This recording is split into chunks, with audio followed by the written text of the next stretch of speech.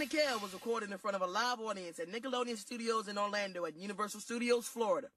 The Mystery Files of Shelby Woo was shot at Nickelodeon Studios in Orlando at Universal Studios, Florida.